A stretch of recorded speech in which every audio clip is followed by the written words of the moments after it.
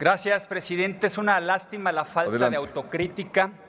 Creo que estamos hablando de otro país, del país de los otros datos. Esa es la percepción y la clasificación de Morena. Estamos ante un gobierno autoritario, corrupto, manipulador e ineficiente. Un gobierno autoritario, un gobierno que pretende manipular al país y a las instituciones. Un gobierno que todos los días polariza y divide a nuestro país. Un gobierno que libera narcotraficantes, que está aliado con la delincuencia. Abrazos, no balazos. Un gobierno que persigue de manera cotidiana a los periodistas, que lo señala. Un gobierno que utilizó a Yotzinapa de manera po- política y hoy se le cae su verdad histórica. Un gobierno corrupto, no se acuerdan de la corrupción de los hermanos, de Rocío Nale, de su hijo, el hijo mayor del presidente Andrés Manuel. ¿Y qué podemos decir de la militarización del país? Quiero recordarles un poco de lo que el presidente decía al respecto, a ver si ustedes lo recuerdan. Se tiene que profesionalizar a la policía. Tenemos que tener una policía federal, porque tenemos que ir sacando al ejército de las calles. El ejército no está preparado para esta función. Este gobierno de la cuarta transformación se ha convertido en el gobierno de los muertos. Es el más violento de la historia moderna. Su estrategia es un fracaso y presagia un futuro más sangriento y más violento. Detrás de cada muerte hay un hombre, un apellido, una familia, una vida destruida.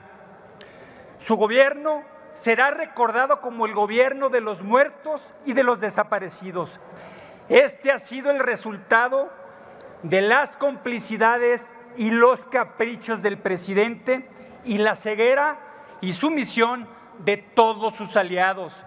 La estrategia del gobierno federal es simplemente echarle la culpa al pasado en lugar de debatir y de construir un sistema de seguridad. Mientras tanto, el país sigue bañándose de sangre, impunidad y corrupción. Millones de mexicanos se sienten inseguros, tienen miedo de que sus familias no regresen a salvo a su casa. Todos los partidos políticos en el 2019 votamos a favor de la Guardia Nacional. Tres años después es un rotundo fracaso y se niega una y otra vez a enmendar y corregir esta estrategia. Pretende vitalizar al país para hacerlos responsables de su fracaso y responsabilizarlos. Nuestro total reconocimiento al ejército y a las Fuerzas Armadas. La solución no es militarizar el país, hace falta mayor inteligencia y estrategia y en esto el gobierno está a la deriva. Pretende hacer una consulta patito, a modo. El secretario de Gobernación será el encargado de esta consulta, pero tenemos a un secretario de Gobernación que debería de cumplir la ley, pero está más preocupado en ser la corcholata, así les dice el presidente, la corcholata que más brilla en el agrado del presidente. Se da tiempo para utilizar aviones militares y hacer labores partidistas con Morena. En lugar de tener un secretario de gobierno, tenemos un activista. Su trabajo debería ser generar enlaces con las fuerzas políticas, sociales y empresariales para resolver los graves problemas del país. Es sumamente preocupante el hackeo que sufrió el ejército.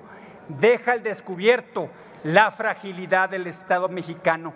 El presidente está más preocupado por mantener su popularidad y ganar elecciones y el secretario de gobernación en ser su candidato. En las próximas semanas podría darse la discusión de la reforma electoral, donde Morena y el presidente buscarán minimizar, desaparecer al árbitro electoral para manipular y concentrar más poder. Este gobierno ataca y desprestigia a todos los que no piensan como él. Están sumamente desesperados. Mientras este gobierno sigue insistiendo en reformas y proyectos retrógradas que dañen a las familias y su entorno, nosotros en Acción Nacional, en el PAN, seguiremos defendiendo el derecho de los mexicanos y sus familias a mayor y mejor seguridad, salud, educación, empleo, medio ambiente y un Estado democrático. No más un gobierno autoritario, no más un gobierno corrupto y mentiroso que manipula y polariza nuestro país. Los mexicanos cuentan con acción nacional para defender a sus familias y defender a México. Muchísimas gracias.